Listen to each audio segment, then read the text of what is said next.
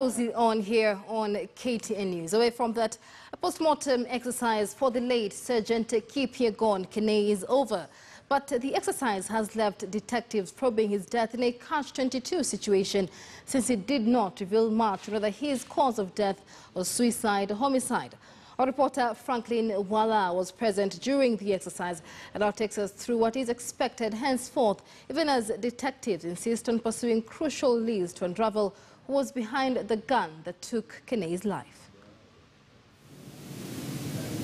A crucial exercise that kept everyone waiting in anticipation to get some answers on some of the hard questions surrounding Sergeant Kenei's death.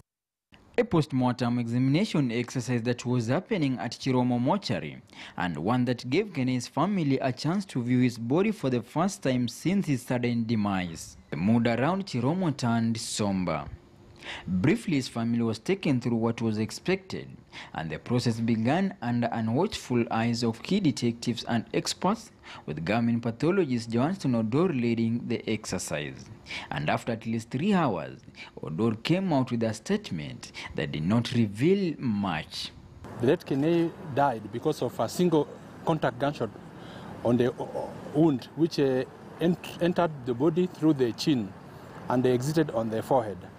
What we are yet to establish is uh, whether it was suicide or homicide. And uh, being that uh, there are so many other investigations which are going on to establish that, we've taken samples so that now we'll be able to make our opinion over that. And maybe the range of the gunshot in the I said that it was a contact wound, so it means that the, the, the, the gun was in contact with the skin of the chin, yes.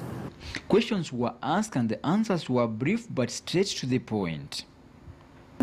Maybe was the firearm used of low velocity or high velocity? Uh, it's a pistol, so low velocity. How long did it, the body take uh, after death? Uh, the body was uh, starting to, to undergo decomposition, so we'll give it roughly maybe one to two days. The body examination did not reveal whether this was a murder case, but detectives insist they are pursuing crucial leads, and that's the only way to go. On Thursday, they are expected to be back at the scene of crime, with the possibility of reconstructing the scene and compare with the postmortem findings. This will then give guidance on who to be summoned if need be. Uh, there are no any other injuries apart from what you have mentioned. We've taken samples. We've taken uh, samples for toxicological analysis.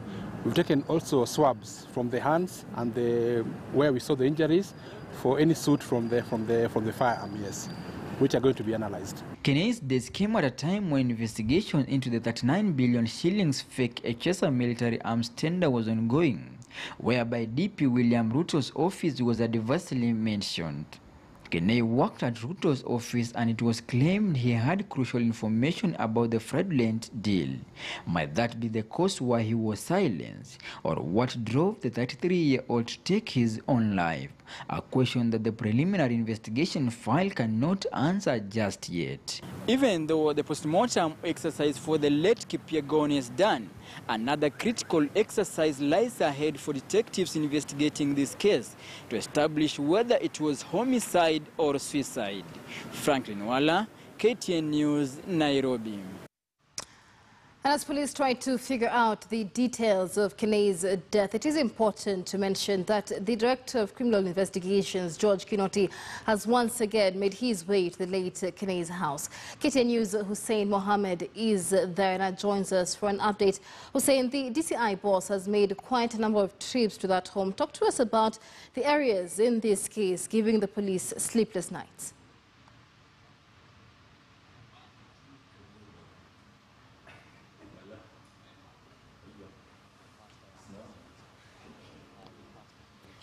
이제 슬라 몬바사입니다. On, on his way. Just this was his first stop, uh, just to try and uh, piece up uh, the on the on the investigations here at Imara.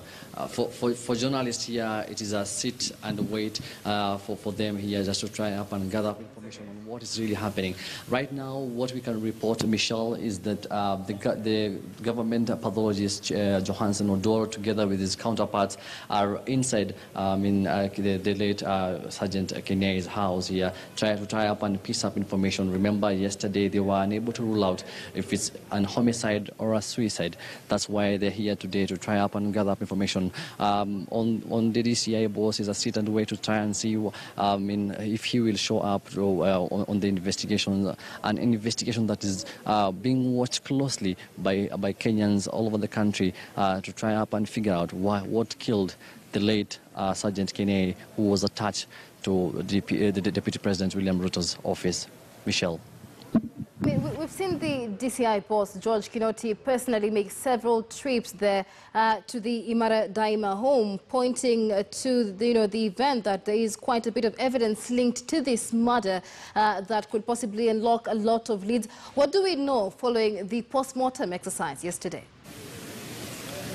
Well, uh, Michelle, the, uh, according to the postmortem, uh, it is said that uh, his, his, his body, I mean, he, he shot himself. Uh, uh, not, uh, according to the postmortem, he said that uh, and the bullet uh, went through his chin. Um, no one has been, has been able to rule out if he really killed himself or if, I mean, if he, he was killed by someone. That's why it's being treated as, a, as death, not a murder yet. But according to the, the investigators here, from the detectives, from the DCI, from the pathologists who are here, that's why they have come the second time here to try up and piece up um, in the, the, the, the, the puzzle of, of, of what really happened. Remember, uh, the postmortem or the autopsy will, will, show exactly what happened yesterday, what we got were preliminary reports of what really happened, as my, my colleague uh, Franklin Waller has reported on his report. Uh, today, we just wait and see to know, I mean, what, what really happened. Remember also, uh, we have spoken a bit of the, uh, the, the neighbors here, and, and they're telling us, uh, I mean, they did not hear the gunshot. If a suppressor was used or, or a silencer was used, where is it? Uh, going to be found. So these are some of the questions that uh, uh, the, the investigators here and the police detectives and the pathologists are asking to try and piece up uh, the whole information. Michelle. All right, many things. There is uh, Hussein Mohammed following up on that report for us, and that brings us to